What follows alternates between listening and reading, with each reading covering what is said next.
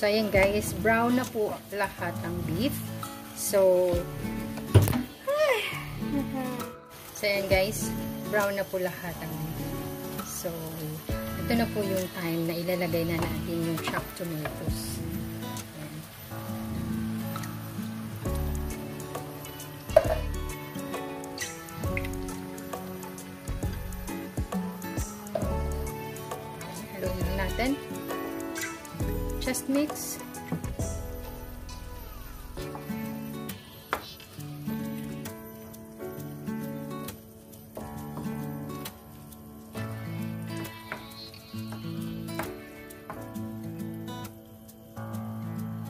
Tayo maglalagay ng rosemary.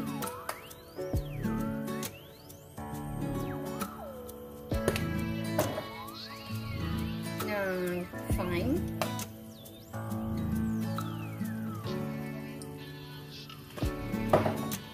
At basil.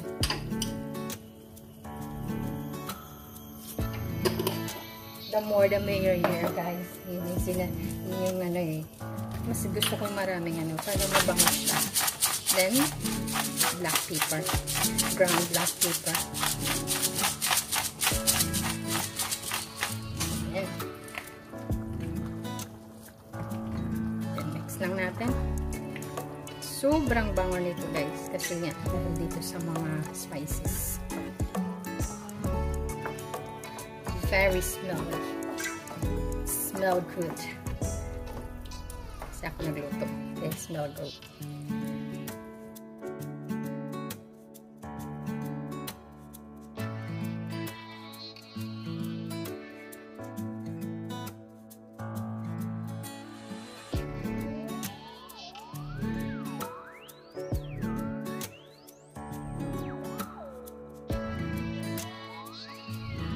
I will add some tomato paste. Gusto ko siyang siya ng tomato paste. Kahit isang spoon lang. Isang tablespoon.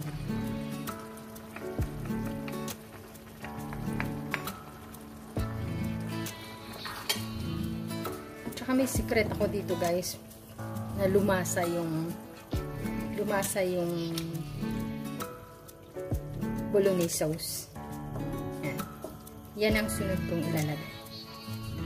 And guys, ito po yung sekreto ko guys. Marmite. Hindi na yung sekreto guys kasi shinare ko na sa inyo. Isang tablespoon lang. Hmm. Isang tablespoon lang. I-mix natin sa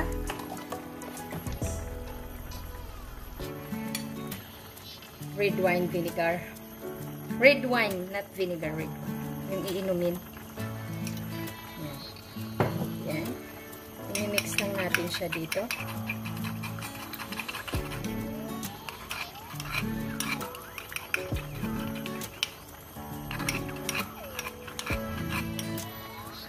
Natin.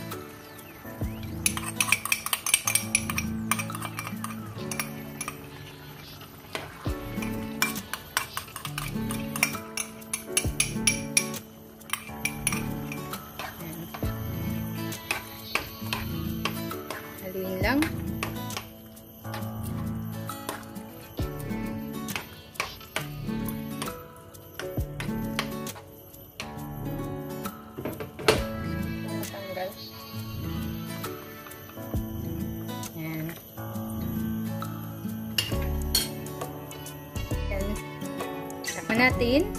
At lulutuin natin siya ng mga 30 to 45 minutes. Depende na kung okay na yung lasa niya or yung texture ng ng meat niya o yung medyo malapot na siya. Or hindi naman siya as malapot. Yung, yung feeling mo ay okay na talaga siya.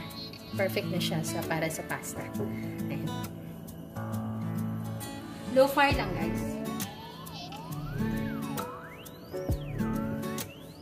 And you need to check from time to time from uh, yeah. Baka uh, maybe dumikit yung nasa ilalim so need to mix.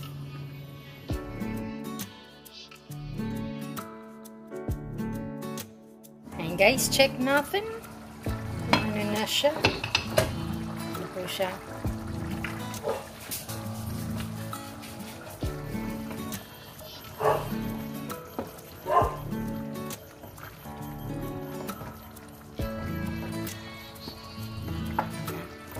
Chinek ko to guys after 20 minutes.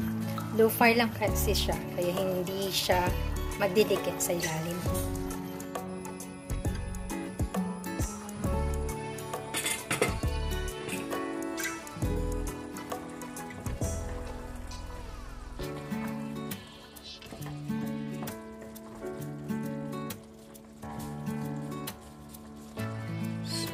this moment guys we're gonna leave that open.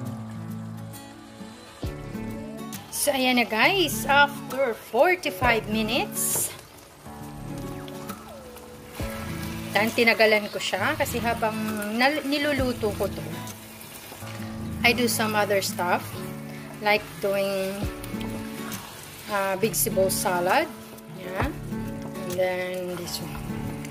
Then watching YouTube. yeah. So this one guys is a perfect now. So we're gonna try, we're gonna taste it if what is the taste? Yan. Thank you.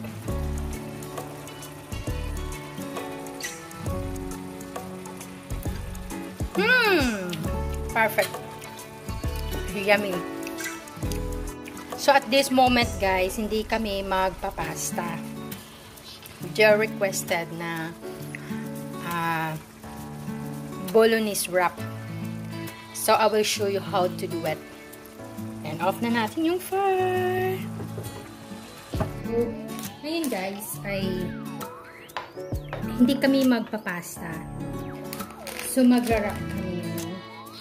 Ito po yung wraps. Ayan. So, show ko sa inyo, ito yung tinatawag namin dito. Sa, hindi ko alam kung kami lang itong gumagawa ha. Bolognese wrap ang tawag namin dito. Kaya yan.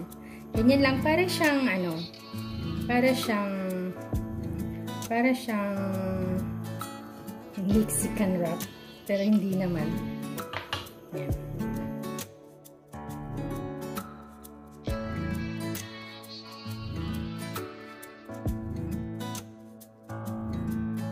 Kasi guys, mili ko sa parmesan. Kaya yan. Lalagyan ko siya ng parmesan. Ayan, ganyan lang. Ayan. So, ganyan lang siya guys. Ayan.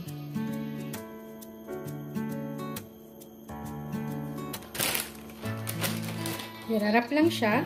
Pag ganun. Tapos pag ganun. Tapos pag ganun. Na po.